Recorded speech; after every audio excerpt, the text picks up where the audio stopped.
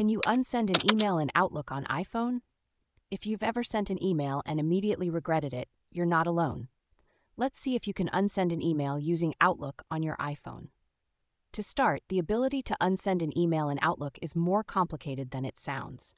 The main issue is that Outlook's email recall feature, which allows you to delete or replace a sent email, has several strict conditions.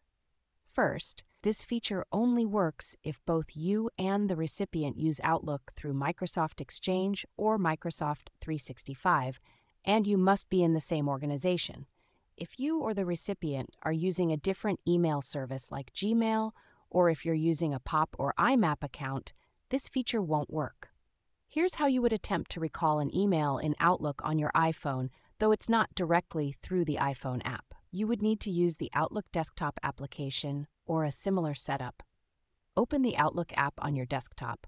Go to the Sent Items folder, find the email you want to recall, and double click to open it. Go to the File tab or the Message ribbon and look for the Recall this message or Resend this message option. Choose to delete the message or replace it with a new one. Confirm your selection.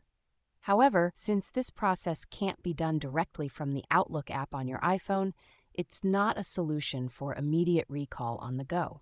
The Outlook app for iPhone does offer some useful features, such as integrating with other apps like Trello and Evernote, and it divides your emails into focused and other inboxes. But when it comes to unsending an email, you're out of luck unless you can quickly switch to a desktop version of Outlook and meet the specific criteria. In summary, while Outlook has a recall feature, it's not something you can use on your iPhone, and it's only effective under very specific conditions. So if you're looking to unsend an email, you might want to consider using the iPhone's Mail app, which offers a simpler undo send feature, but that's a different story altogether.